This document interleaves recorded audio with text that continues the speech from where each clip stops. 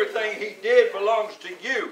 He got it all back. He didn't just get part of it back. He got every aspect of our of our supernatural living. He got it back.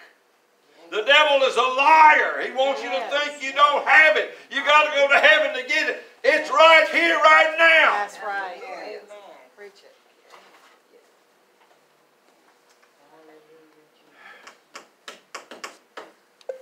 You know what? I grew up, we used to sing them old redback hymnal songs, and some of them were really powerful. And some of them weren't worth singing. I'm foot sore and poorly shod. Hogwash. Exactly. Remember that one? I'm just a pilgrim traveling through this weary land. I'm not a pilgrim. I'm not a stranger. The earth is mine. That's right. I'm the rightful heir to it. Strangers and pilgrims have no authority in either world. That's right. Get over it. Woo. Devil, you're done. That's right. You're done, devil. Man in Christ is now immortal. But God is and always has been eternal. Eternal means God had no beginning and he will have no ending. That's eternal. Yes.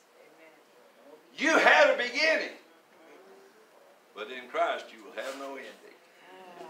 You are immortal. That came not through Adam, but through Jesus Christ, the last Adam. Yes.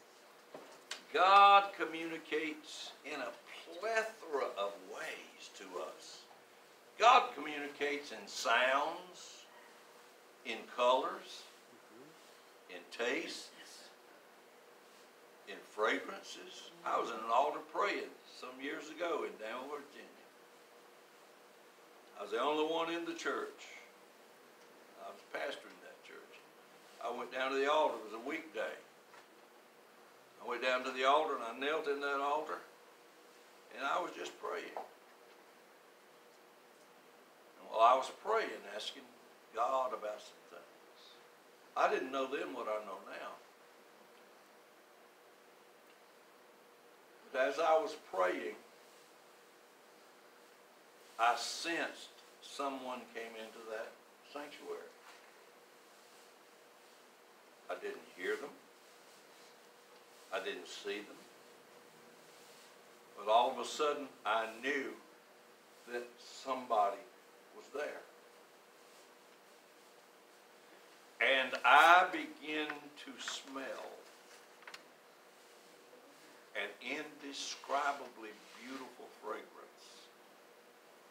Something that I had never smelled before. And it was, it was so impactful that it just, I couldn't imagine how beautiful that was smelling like that. The thing had to be. What, what is it that, that smells that awesome? And I just got still. I, I didn't, uh, I didn't say anything else. I just, I was bent over the altar and I was just quiet and still. That permeated that whole sanctuary. So, so reverent. And in a few minutes, it left. And my thought was, oh, don't go, don't go. But it just left like it came. I got up and I looked around. And I knew that I had been visited from the other world. can't describe it. There's nothing, I've never, there's no fragrance like it. I've never smelled anything that even came close to it. It was otherworldly. And I finally came to the conclusion that it wasn't my nose that smelled it. It was my spiritual sense that smelled it. And it was my spirit that sensed the presence. For every physical sense you have, you have a spiritual sense counterpart. God can speak to you through fragrances. God can speak to you through colors. Colors in the Bible mean things. The Bible says a, woman shall not wear that which pertaineth to a man. It's talking about colors. I'm talking about the kinds of clothes. It's just talking about colors. There were men's colors and there were women's colors. The, the, the, God speaks, numbers are a language with God. God speaks in numbers. Numbers mean things. And God can, can show you things just in numbers. It's hard to comprehend, but it's otherworldly. It's, it's what we got disconnected from. Adam, Adam communicated with heaven. Heaven commun- God would come down and walk with Adam in his garden. He didn't make Adam come up there. He came to Adam, and he'll do it today.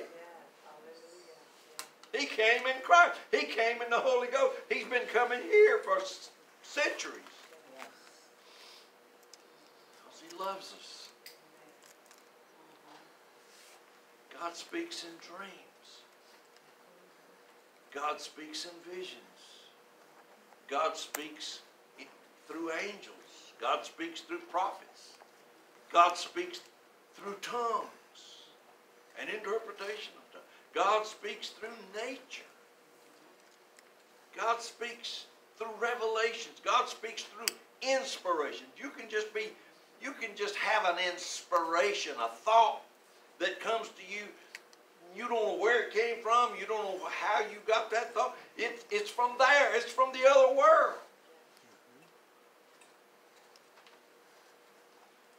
Inspire means to be God breathed. God breathed into Adam. Ins- inspired. He became alive. I believe that God wants to quicken our senses. God can make these words on this page come alive. He can do that. It's, he can quicken it.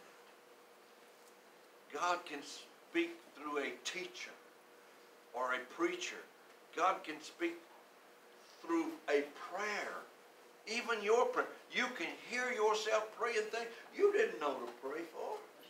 All of a sudden, the Spirit of God takes over and you're praying things. Paul said, I will pray with the understanding and I'll pray with the Spirit too.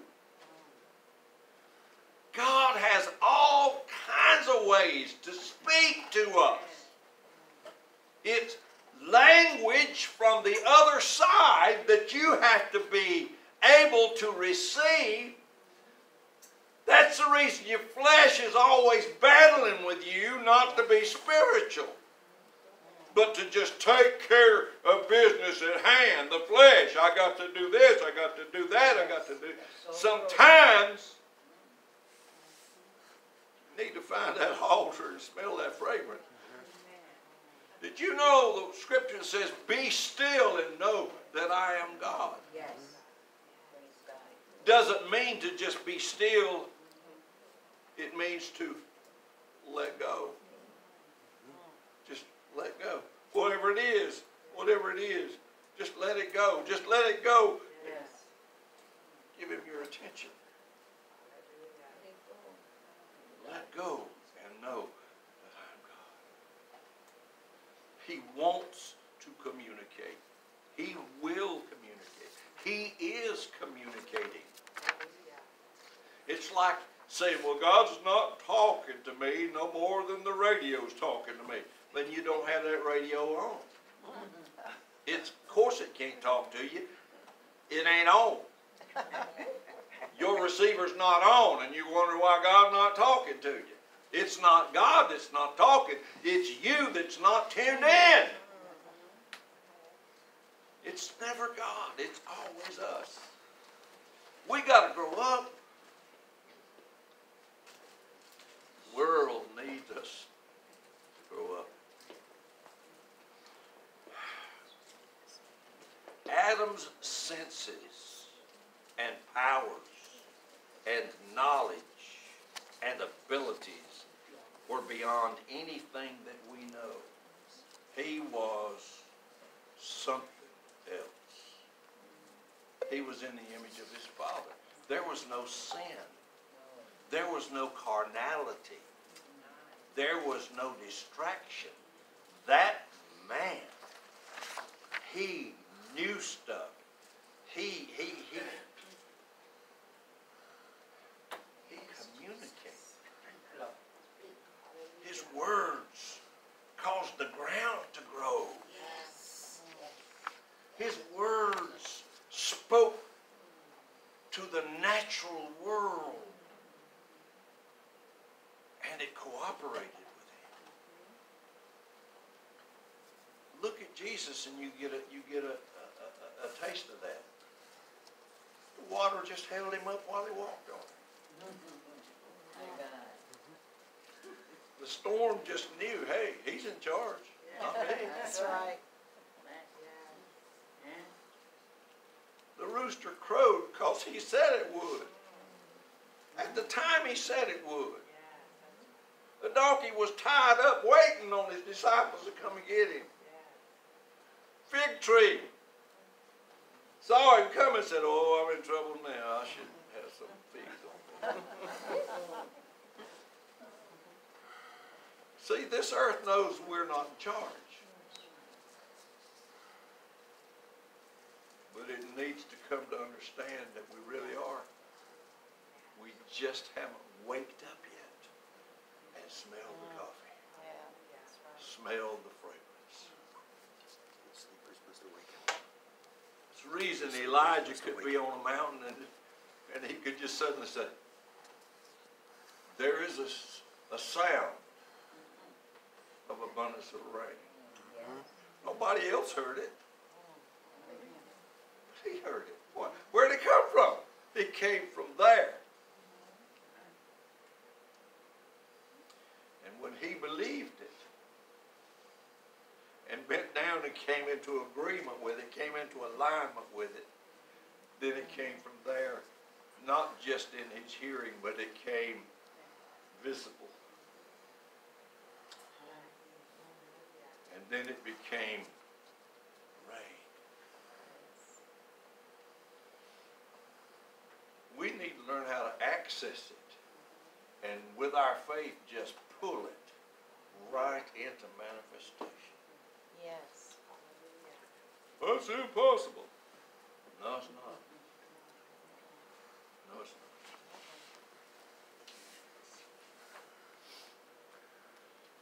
I was reading the other day a medical uh, periodical, and it was talking about synth.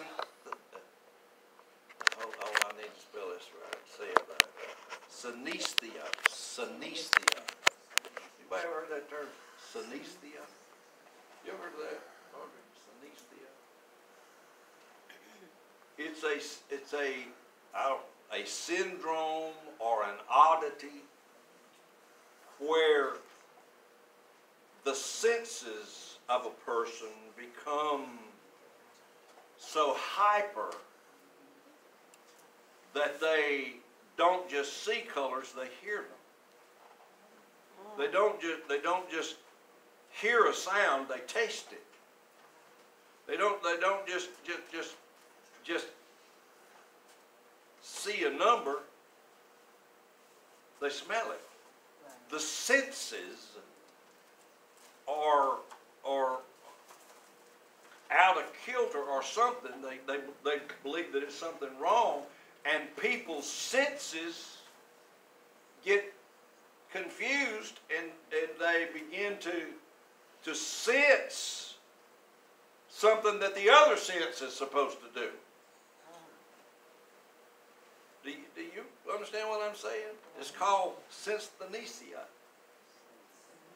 It's not something that you hear much about. It doesn't happen very often, and and and and, it, and they're, they're not saying that it was what was a spiritual event, but what I'm saying is you have a spiritual counterpart for everything that you have in the natural, sense-wise, and and more. I smelled a fragrance that was not in that sanctuary. I saw the shadow of a dove. I was driving a, a 1969 VW window van in Danville, Virginia, in the early 80s. Now, I was driving that window van on a sunny day, and I turned and, and I happened to look out the window, and there was a perfect shadow of a dove moving right along on the pavement beside me. I thought, well, that, that bird's flying along with me. And so I got to the intersection. I made a turn, didn't have to stop or anything, just made a turn. And I got to looking, and it was going up the hill with me. I thought, good night. I stuck my head out the window and tried to keep them running off the road. Never did see a, a dove. Followed me for blocks. I saw it. Where did it come from? Where did it go? It left me. It was God. Because I got this overwhelming sense I'm with you. I'm with you. I'll go with you. I can't explain. I still can't explain. I don't know. I don't know where that smell came from. Know where that that that, that dove came. from. Don't know. Don't care. I know it's God. I was up in the mountains praying. Went there by myself. Built a fire in an old log cabin. Was there to spend the week in prayer. There was no electronics before cell phones, before uh, iPads or televisions. I mean, it wasn't before television, but there wasn't one there. Just me and my Bible. I knelt down in front of the fireplace. I built a fire. It was cool. I built a fire. Got got that fire blazing. I felt like David while I was musing the fire burn. I knelt down in an old comfortable leather type chair. Back then, I could get up and down real good. I began to pray. And at some point, I don't know when, but at some point I just went out in the spirit. I just lost sense of all reality, all uh, geography, all time. I just, I, I don't, I, I don't know. All I know is in just a few minutes, at least it seemed like a few minutes, I, uh, I came to myself and, and I stood up, thought, well, I, I'll come back and pray some more. And I turned around and that fire was completely gone out and the, the embers were even cold and it was dark outside. I don't know how many hours I was out. There are things beyond this world that we have not accessed. And I'm telling you, God says it's time for us to begin to experience what belongs to us. Mm-hmm. We're living beneath our privilege, which means that we're also living beneath our responsibility. This world is going to hell in a handbasket. And it needs some answers.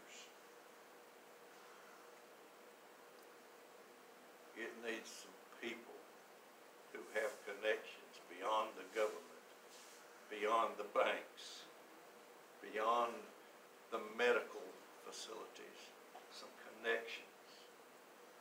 I got a little cross on my lapel today. That is three nails. Three nails. That's what held Jesus to the cross. Well, actually, it wasn't the nails, it was love that held him there.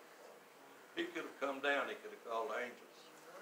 Jesus had such access, he could have called angels on the scene and they could have gotten him down off that cross. But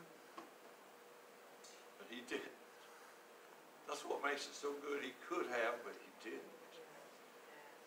Because he was buying and paying for what the Holy Spirit is telling us about today. Beyond just being saved and missing hell. It's enjoying the possibilities of the world to come.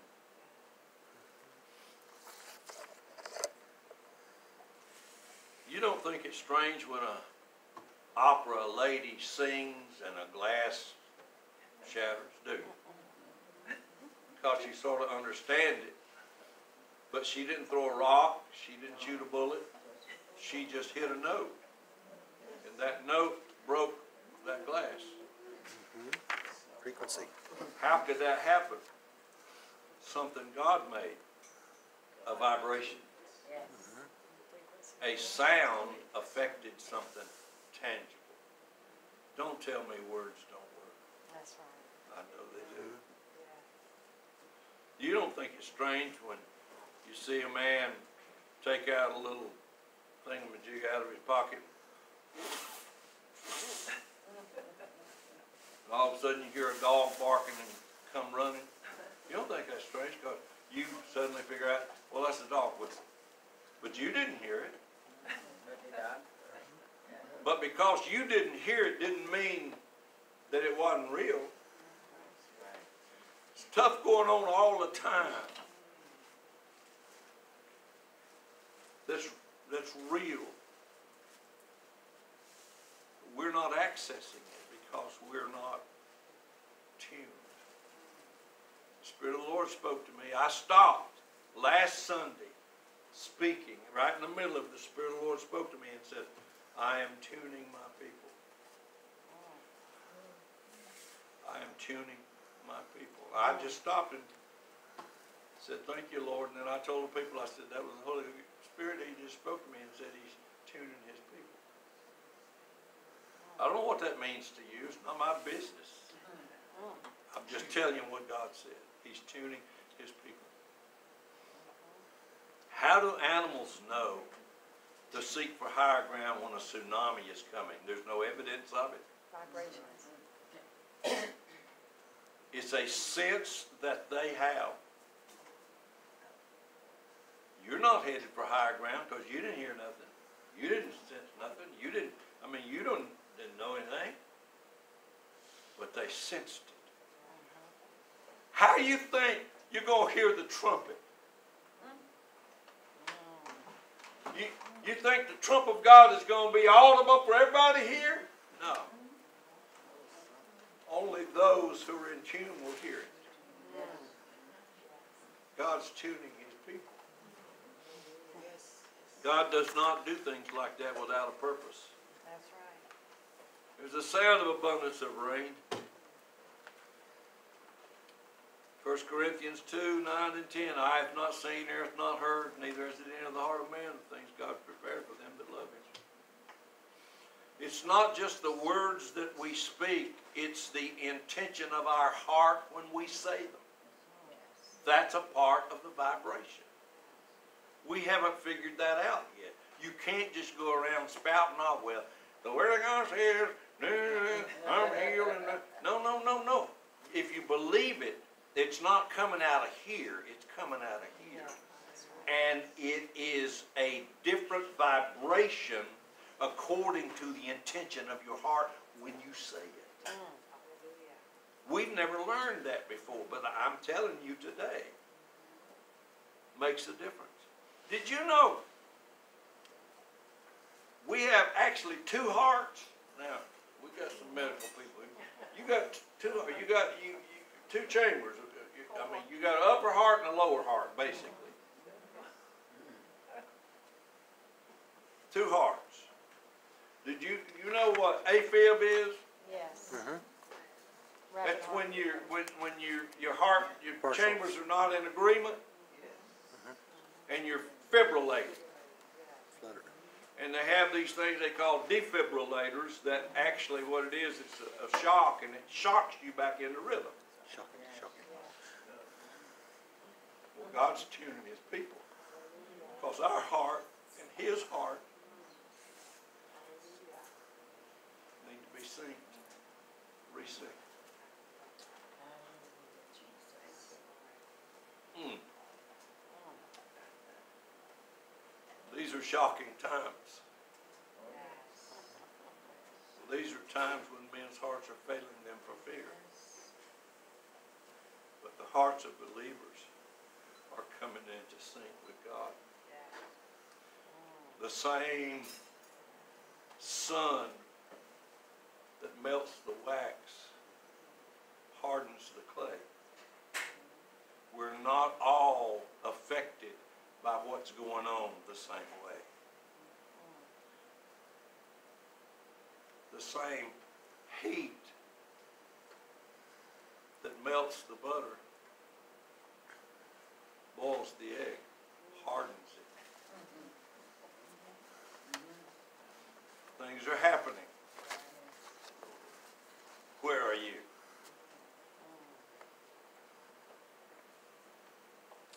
You know that so it is against the law for soldiers to walk across a, a bridge? To, to- I say to march across a bridge? Did you know that? It's against the law for like a platoon of soldiers to march across a bridge.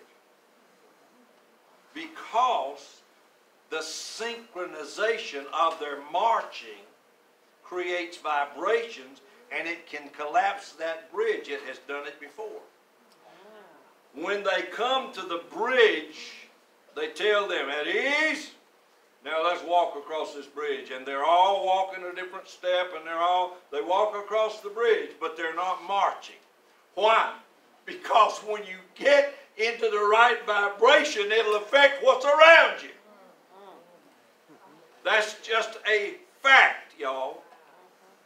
Your brain puts off waves.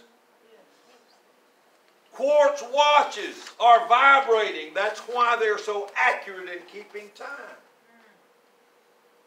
Sound travels through air at 720 miles per hour. That's the reason if a, a jet plane goes faster than 720, you hear an explosion because he just broke the sound barrier and you see him before you hear him. But sound through rock travels 14,000 miles per hour through a rock. Go figure. Who made all that, God? Your emotions put off vibrations that affect those around you. You ever pick up a cat and feel him purring? Who made that? God. Even a lion will do it. You have a heartbeat. You have a pulse. Why? Because God made you to move, to vibrate, to resonate. He wants us to resonate with His Word. Did you know that now it's commonplace for them to take sonic waves or sound waves that go through fluid and they'll put that thing against you and burst your kidney stones so you can pass them? That's commonplace anymore. It's just a vibration, but they've learned how to use it. God made that. Did you know that vibrations at a certain level can kill bacteria? You know they make things now you can buy and plug it into the electrical socket to keep the rats away, the mice away. Why? Because they can hear it vibrating, but you can't. Did you know that if you focus sound waves, at oil floating on top of water, that it will actually begin to fibrillate and mix. That oil and that water will emulsify. You can't do it, but the vibrations can do it. We are on time, y'all. Yes. It's time to reconnect the other side. The world needs it, the church needs it, and God is bringing it to pass. I want to be part of it. Be still and know. We need to let go of some things and take hold of some other things. What was Peter walking on? He wasn't walking on water. Walking on the word. Come. Servant turns to Elijah and says, Alas, master, how shall we do? We're surrounded by Syrian soldiers and chariots and horses. The prophet said, Open his eyes, Lord, that he may see. And all of a sudden he saw that the mountains were full of chariots and horses of fire. Did they just come? No, they've been there all along. He just didn't see this. We need to pray, oh God, open my eyes so I can see what's going on. We need to pray, oh God, open my ears so I can hear what you want me to hear. Instead of what the fools are trying to tell me. Amen.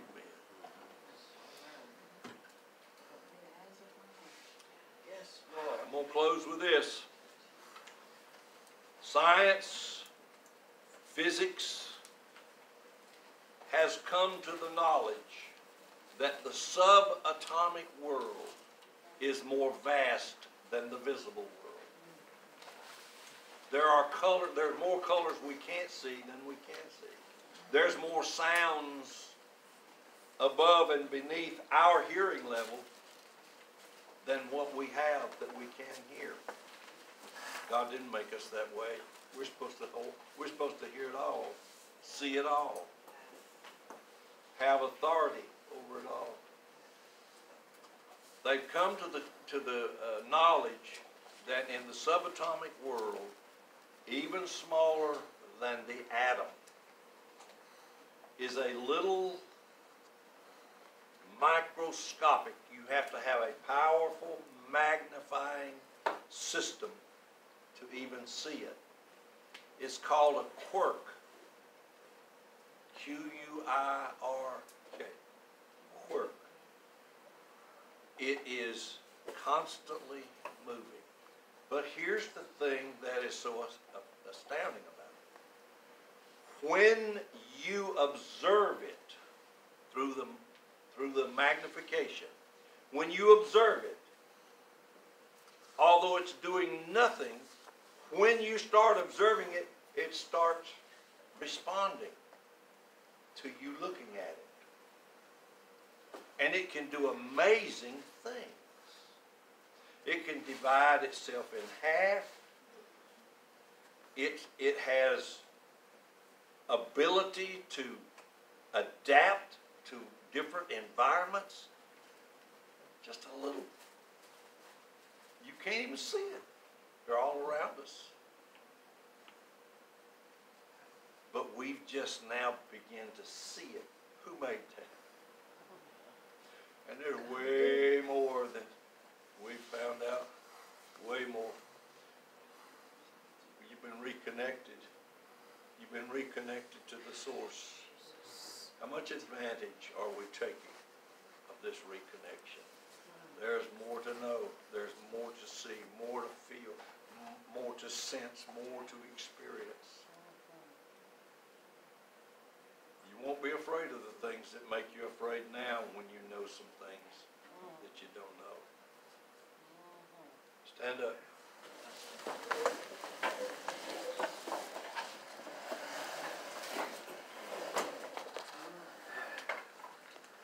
Holy Spirit, thank you. Thank you for guiding us into truth today. Thank you for every person under the sound of my voice. I thank you for the possibilities that are in this room. There are earth-changing possibilities in this room. And Lord, we thank you that you have reconnected us to the source of life. And that there is so, so much that we have access to. I pray, Lord, that you will teach us and show us and keep moving us in alignment and in harmony with you, sir. Yes. Here we are, Lord, tune us. Tune us up like an instrument. Mm-hmm. Put us in the wavelength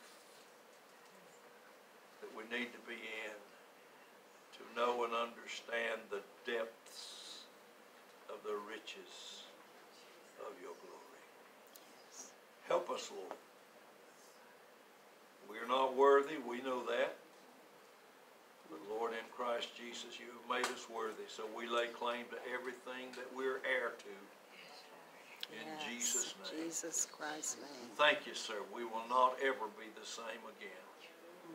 We will not ever be the same again. Thank you, sir. In Jesus' name. Amen. Amen. Mhm. Okay, y'all. Please don't forget this offering basket.